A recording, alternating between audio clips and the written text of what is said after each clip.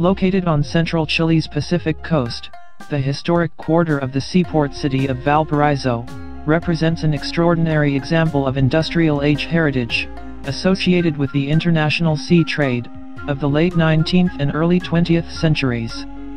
The city was the first and most important merchant port on the sea routes of the Pacific coast of South America that linked the Atlantic and Pacific Oceans via the Strait of Magellan.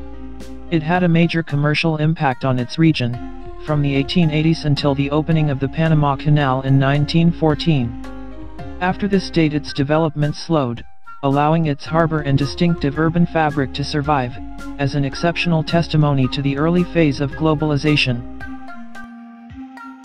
The outstanding nature of the historic quarter of Valparaiso results from a combination of three factors, namely its particular geographical and topographical environment, its urban forms, layout, infrastructure and architecture, and its attraction to and influence by people from around the world.